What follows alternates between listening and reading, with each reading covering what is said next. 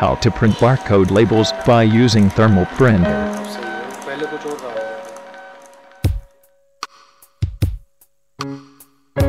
Set the roll in printer.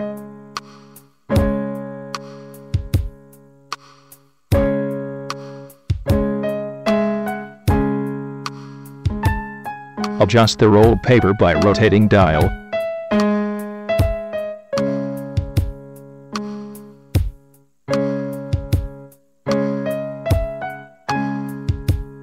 Move this down.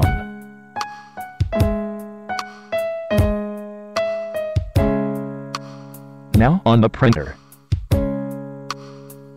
We have designed this barcode label by using DRPU Barcode Label Maker software.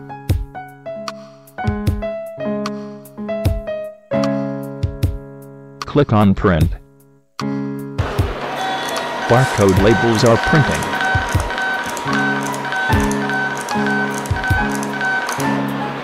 Thanks for visiting.